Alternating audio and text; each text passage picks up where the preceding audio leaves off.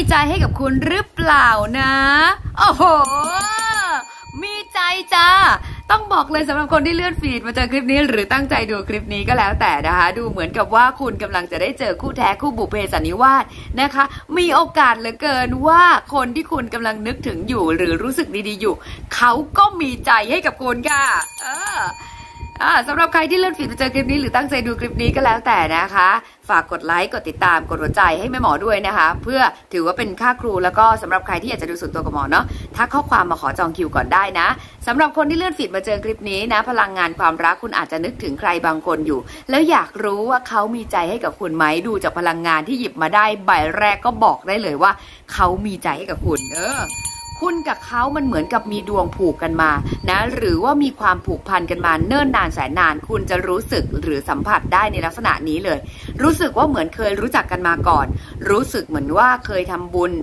ร่วมชาติตักบาตรร่วมขันกันมาก่อน เคยผูกพัน มีอะไรบางอย่างคลิกกัน มีอะไรบางอย่างตรงกัน มีใจที่ตรงกัน มีความรู้สึกดีๆ นะ บางครั้งบางทีนึกถึงหรือคิดถึงอยู่ตลอดเวลา นะ บางครั้งบางทีนึกถึงก็เจอ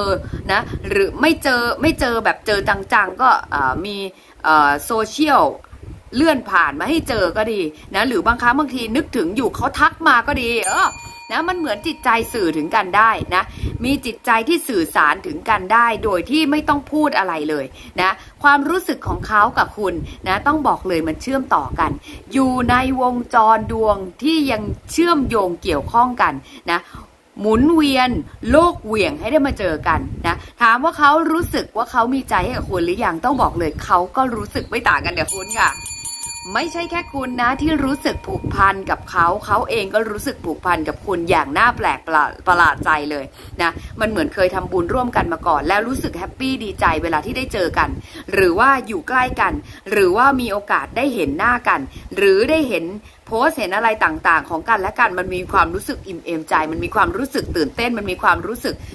หัวใจพองโตหัวใจพองโต นะเออใจจะเต้นตมตูมตามนะ หัวใจพองโต หัวใจเต้นแรง เออนะมันจะมีความรู้สึกตื่นเต้นอะไรบางอย่างเกิดขึ้นนะ ซึ่งมันไม่ได้เกิดขึ้นกับคุณคนเดียว เขาก็รู้สึกสุดท้ายค่ะภัยอยากจะบอกอะไร เออ